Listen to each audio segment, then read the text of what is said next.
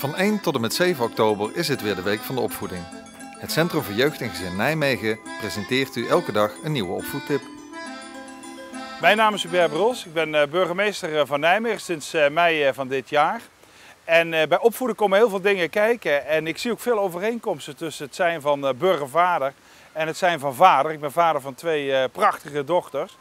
Um, wat ik heel belangrijk vind is dat je gewoon vertelt uh, hoe duidelijk hoe dingen in elkaar zitten. Duidelijk uh, richting aangeven. Dat komt van pas als burgemeester, maar zeker ook als vader. Maar wat ik eigenlijk het allerbelangrijkste vind in opvoeden is dat je investeert in je kinderen. Dat je de kinderen laat voelen dat ze er echt toe doen. Dat ze het gevoel hebben dat ze serieus worden genomen. Dat geeft namelijk zelfvertrouwen. En als je zelfvertrouwen hebt, dan ga je ook vanzelf al de goede dingen in het leven doen. Dan probeer je op een positieve manier dingen op te pakken.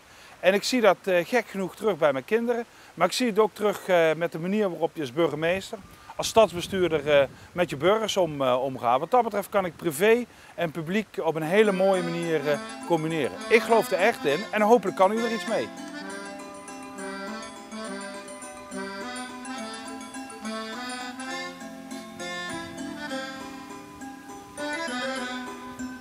Kijk voor meer informatie en activiteiten tijdens de Week van de Opvoeding op de website www.cjgnijmegen.nl